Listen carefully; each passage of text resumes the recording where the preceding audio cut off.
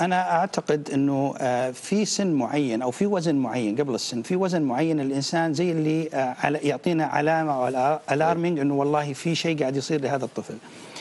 آه، أنا كنت أتكلم مع الدكتورة والأخت شروق أنه في طفل سويته عمره 12 سنة جاب والده عندي العيادة وأنا شفته قلت له سألت الطفل قلت له بابا تبغى نسوي لك عملية؟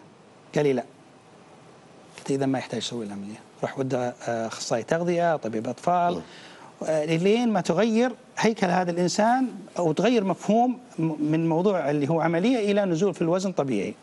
جاني بعد ستة أشهر قال لي الولد زاد في وزنه. زاد. زاد في وزنه.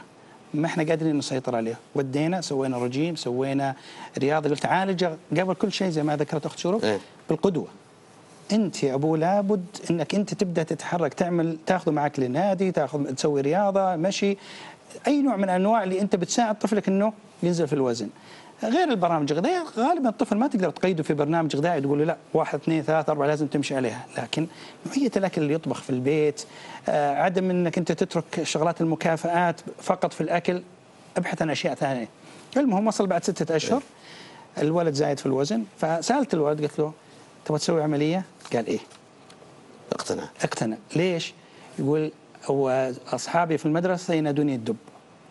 فهنا تحول من مرحلة اللي هو زيادة في الوزن إلى مرحلة اجتماعية بدأ الناس بدأ أصحابه يتنمرون عليه.